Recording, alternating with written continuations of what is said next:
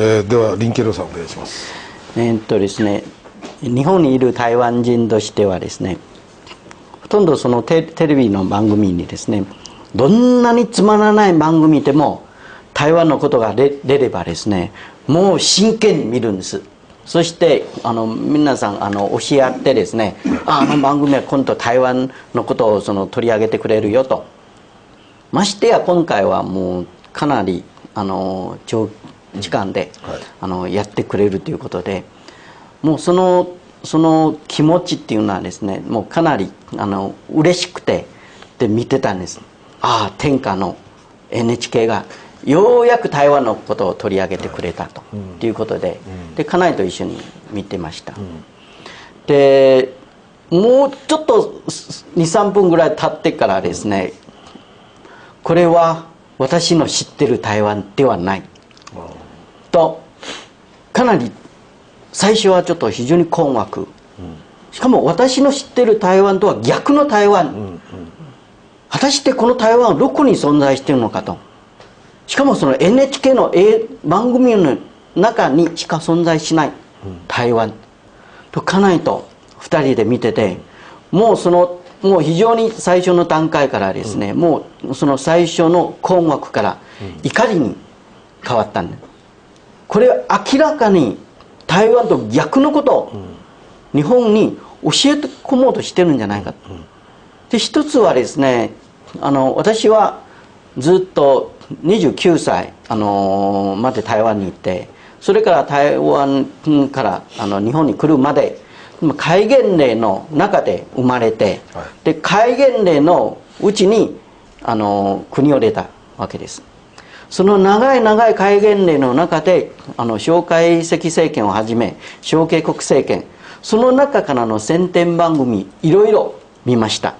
日本の悪口を言ったりそして中国の悪口を言ったりっていう番組はですね当時の独裁政権下でですねいろんなこういう宣伝がありました、それと比べてももう本当にこの NHK のこの番組はよくできているなと思う,、思うぐらい、これははっきり言って最初から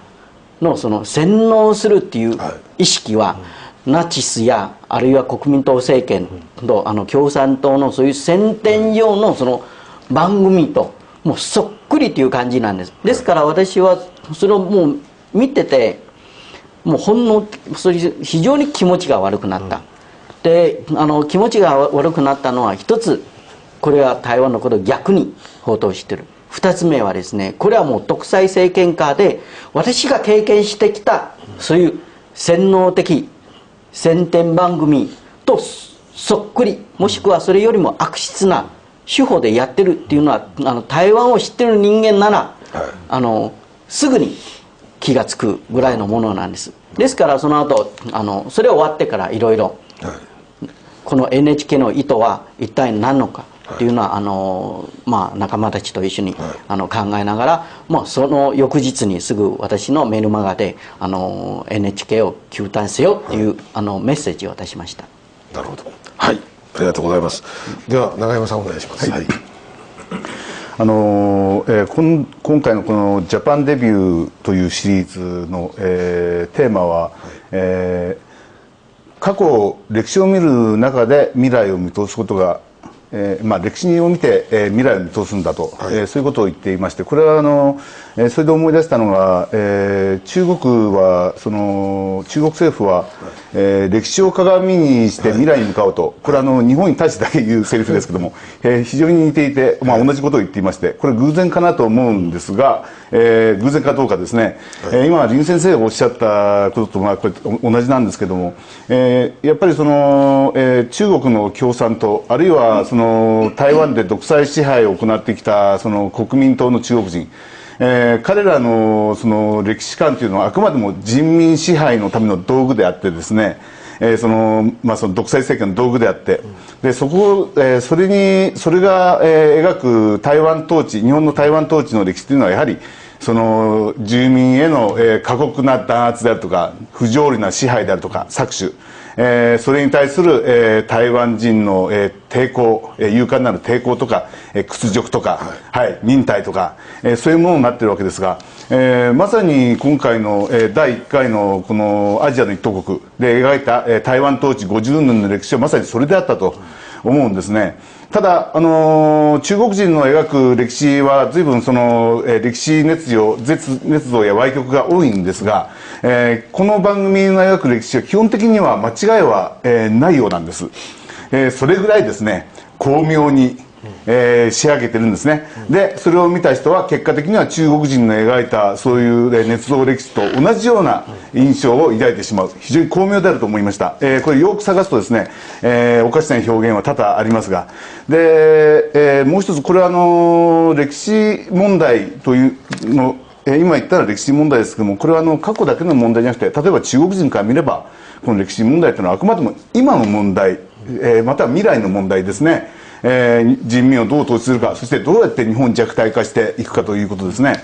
えーまさに NHK がやってることも日本人の自信を奪いその弱体化をめ、えーさせるような、えーものになっておりまして、えー特にですねこの台湾の歴史についてはですね、えーこの台湾支配の不条理さを強調することで、えーやはりこれもすでにあの先生方からご指摘ありましたけれども、えやはり日本と台湾の関係を、えー弱くしていくお頭ものにしていくと。えーそれはまさにその中国の喜ぶものであると目指しているものであるということですね、えーそういった中国の意思を、えー報じて NHK がこういう番組作ったかどうかは分かりませんが、えーしかし、えー結局は NHK も中国と同じものを目指してんだなと言わざるを得ないと感じています。それからもう一つ、えー例えばそのえー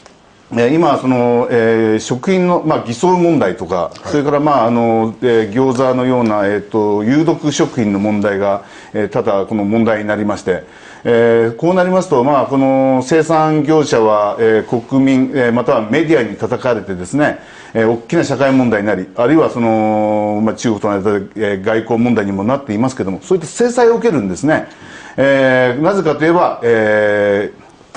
日本国民に被害を与えたからなんですね、えー同じようにこういった、えーえーとこのえーこの番組のように誤った歴史を与えで日本人の気持ちに、えーわ悪影響を与えさらには、えーこの台湾との外交関係に被害を与えるようなこういった有害な番組これはもうこの番組に限らずこれまでこういう反日ドキュメンタリーはいっぱいありましたけども、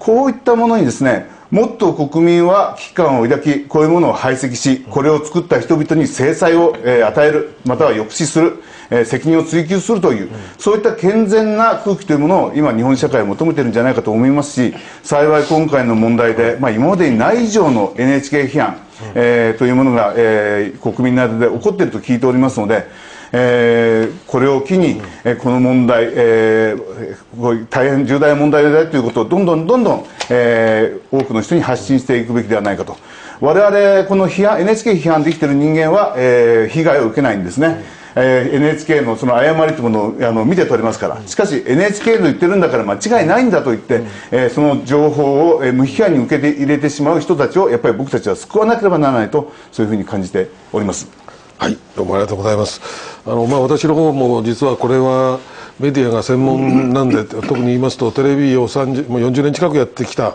人間として言いますと、ここまでやるかっていうぐらいひどいあの作り方でした。これはあの、はっきり言いますと、まあ、NHK はもともとあの朝日新聞みたいに分かりやすくですね反日をやるよりは巧妙に実は映像的に、まあ、ごまかしてきたわけでございます。これはあの私ずっと書いてきたんですけど今回もそういうのがはっきり分かりました。で私個人もちょっとこれ言わせていただきますと3点あると思います。今まで通り反日まあこれ反米も入ってます実は、えーそれといわゆる、まあ、あの親中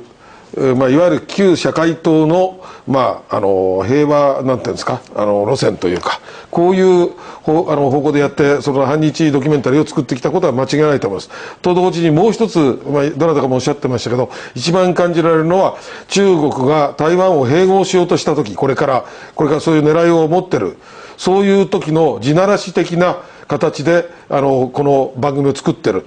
このいわゆる中国のその方針に沿ったはっきり言いますと謀略機関の歌舞伎館化した番組作りをやったんではないかと実は私は思ってましてこれ非常にまあのまずいし危険なことだしこれは許してはいけないことだと思います。それともう一つ言わせていただきますと、えそれだけではなくてですねもっと悪いことに、え皇室攻撃も私はやってると思います。